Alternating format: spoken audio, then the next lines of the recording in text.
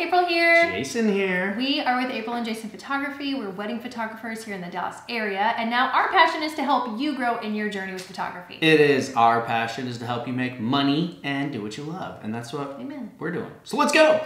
But before we do that, and I think so today we're going to talk about nailing the focus. Yes.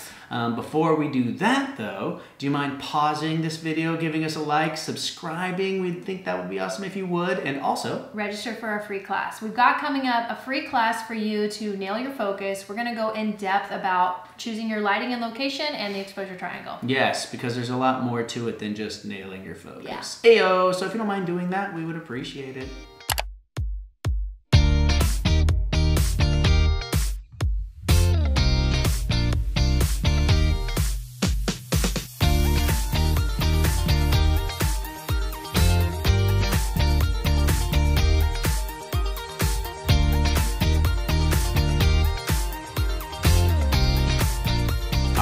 All right, y'all. So the first thing we're going to talk about in nailing the focus today is camera settings. Uh, most of these are actually going to be some camera settings, but the specific one we're going to talk about is how to set either one shot, your AI focus, or AI servo. And the idea here is um, servo is pretty much our favorite. We live on servo. Yeah. That being said, if you're trying to get a very crisp image, you're going to start with one shot, right? And the idea there is you just click, click one time, and it, it takes a picture. Um, but you you can't hold down your focus button. You have to literally go boop and then click, boop and then click. And every time you do that, it's taking one shot. And if your um, subject is standing very still, then you're going to get the clearest image possible. Okay, so a good middle between one shot and servo is AI focus, which we pretty much never take. But the idea there is it's supposed to get an idea of what you're doing and then it's supposed to work that way. So you can one shot it and you can also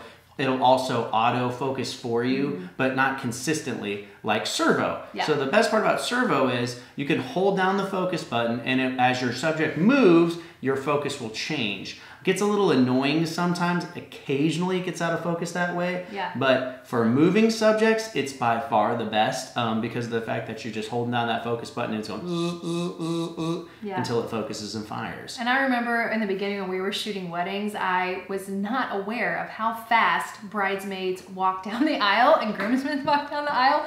So having AI servo on has been such a game changer and being able to just like focus on their bellies and as they're walking towards you, I can click, click, click, click and get as many images as possible that are very clear. So Yeah, so you definitely want to be using that. That's probably one of the biggest game changers when it comes to nailing focus. Yes. Um, before that, like she said, was like a 50 50. You're like, click, Oh, and click, Oh, click, and you're like, oh, that was good. That was bad. That was good. no. Yeah. And that's why you don't give. And so, pro tip, by the way, don't ever give out the full gallery. If you're doing that, you're making a horrible mistake. Make sure you cull those images, get the best ones, and share those with them. But make sure you get those in focus. And that's why we're explaining all this to you today because we've been there, we've made the same mistakes. Booyah, like and subscribe. Thank you.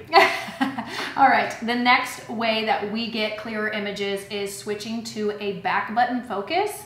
And the reason why we do this is because when you are doing it simultaneously, the back of the camera is doing a different job than the front of the camera. Before this would go beep beep and mm-hmm. beep beep, so it'd be focusing and then the shutter And would firing, shut, yeah. firing at the same time. So we weren't getting as crisp of a picture as we are now by having the back button do it instead of the front button, and we just simultaneously press these buttons at the same time, and we're getting a clear image. Yeah, the idea because that's the factory way, by the way. The factory has it set to Yes. this front bu- button, focus, and fire.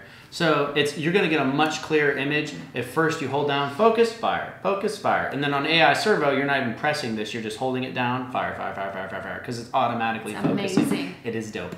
um, but yeah, you definitely you're going to kind of constrict yourself if you're keeping the factory settings set on your camera. So don't do that. Change Yeah. it up. And how do we uh, get it out of there? April? Okay, so for us, we have an R6. So you would go on the back, and we had to look it up ourselves because we forgot. But if you go to the orange menu, it's uh, the third page or yeah screen there and if you go down to customize buttons that is how you set this up. And you actually can customize all these buttons. I have this one set up to be able to control when i want to switch it to high speed mode. When those bridesmaids are walking really fast i can switch that to fire real fast and get a bunch of those um, images instead of just the one shot. So you can customize all these buttons, but I have this one set up. It's up to you which one you want to have set up, but I have the one closest to this um, viewfinder. Mm-hmm. So And I think I have the next one as well, the little star one set up as well to focus. just in case, yeah. Mm-hmm. Just in case that one breaks for some dumb reason during a wedding.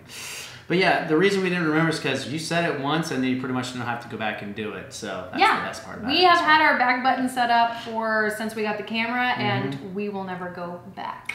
had. right? So optimizing shutter speed for motion. April, lead us into that. Okay, so we actually just did a video all about camera settings. If you didn't see it, it was last week, but go ahead and watch that video, or however this was. Um.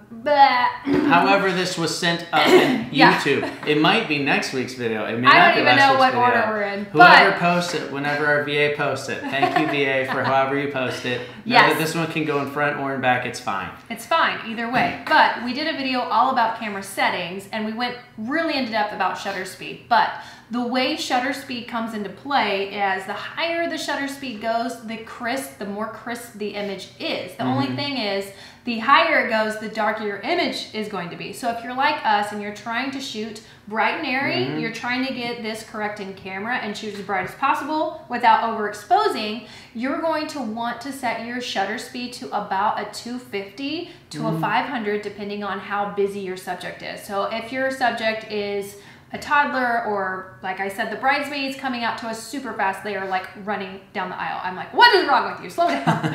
They do you might want to have that shutter up to a 500 versus a 250 because they could be a little bit blurry.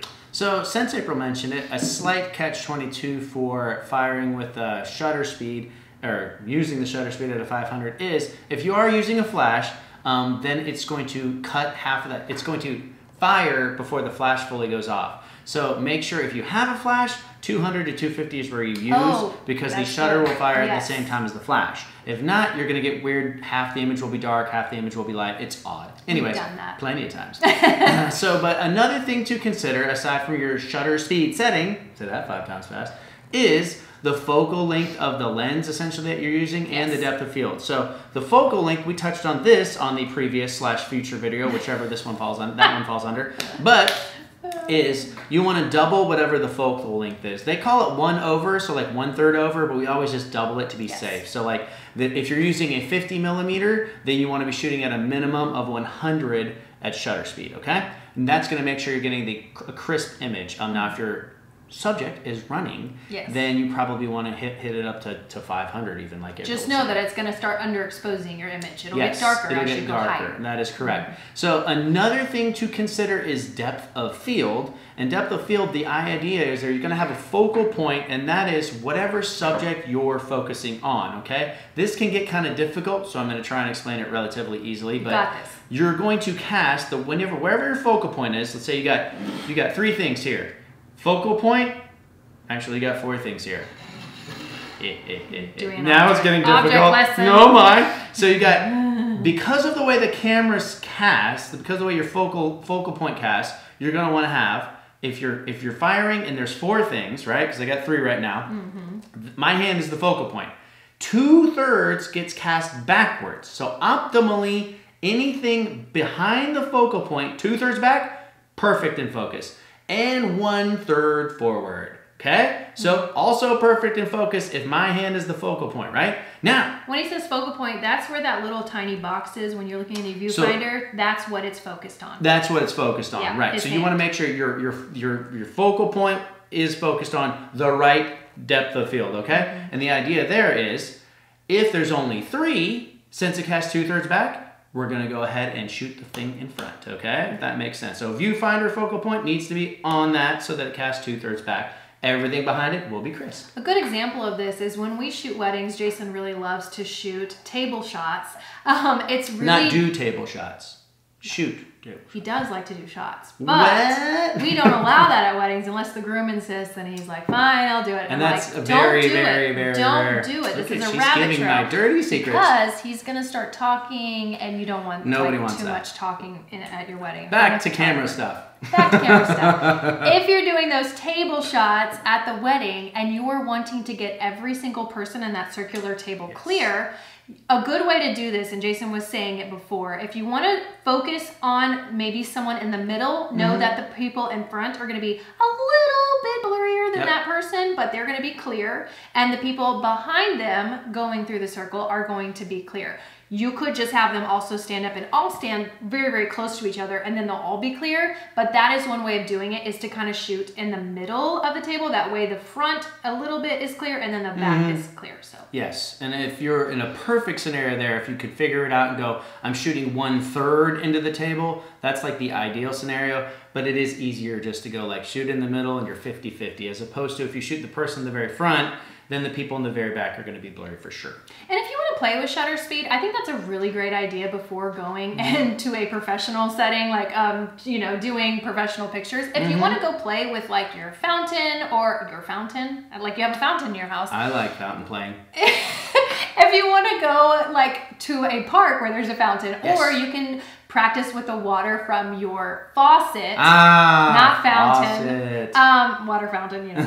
But I get it. anyways, um, you can turn your shutter really, really low and see the difference in how that water's cap- Yes. being captured as far as um, the blur goes, and then turn it up to see how crisp it is. And just because you said that, a lot of the times, if you're looking like a scenic photographer, they're the ones that are going ridiculously low on the shutter speed. Yeah. And it's because that's what makes that water look like glass, one, or the Mm-hmm. waterfall look like a steady stream of water, like there's no droplets. It's just this long, steady stream.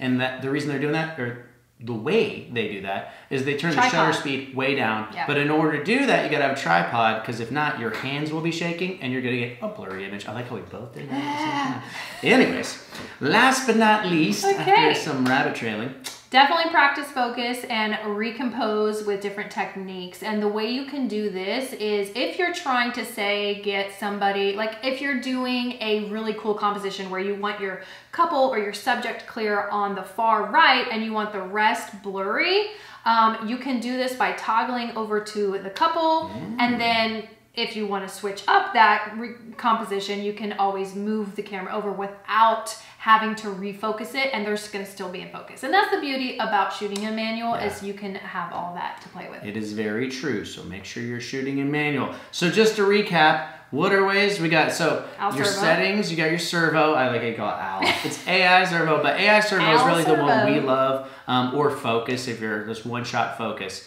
Um, other than that, back button focus, like customizing your controls, is solid there for sure. Um, and optimizing your shutter speed for the situation.